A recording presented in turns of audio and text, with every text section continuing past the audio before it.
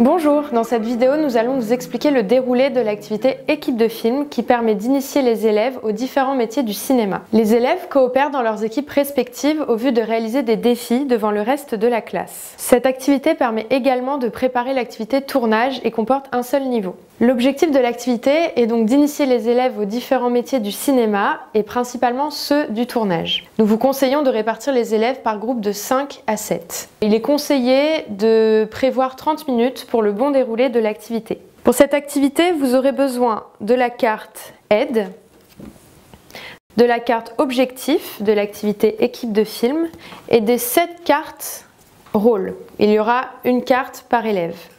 Une fois les groupes constitués, vous présentez les différents métiers du cinéma aux élèves. Réalisateur, acteur au nombre de deux, chef opérateur, accessoiriste, ingénieur du son et script. Vous pouvez retrouver toutes les définitions sur la carte aide ainsi que dans le glossaire à la fin du livret de l'enseignant. Avant de commencer, il est nécessaire d'expliquer aux élèves la fonction de chacun d'eux. Après ce temps d'échange, chaque groupe prend connaissance des cartes équipe, au nombre de 7 réalisateur, ingénieur du son, chef opérateur, accessoiriste et script. Dans chaque groupe, il faut désigner un réalisateur qui attribuera ensuite un rôle à chaque membre de son groupe. La lecture des cartes métiers peut se faire à voix haute pour que tous les élèves découvrent en même temps le rôle de chacun, car c'est avant tout un travail d'équipe.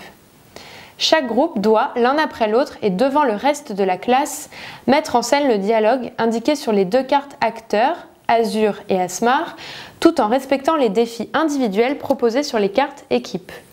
Ainsi, le chef opérateur doit trouver le bon angle pour avoir les deux personnages dans le même cadre pendant que les acteurs récitent leur texte. L'ingénieur du son crée une ambiance sonore adaptée à la scène qui sera jouée et c'est le réalisateur lui-même qui décide quand tout le monde est prêt et donne le départ de la scène.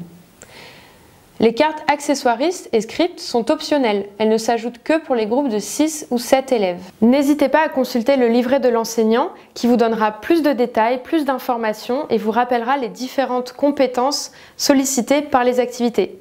À vous de jouer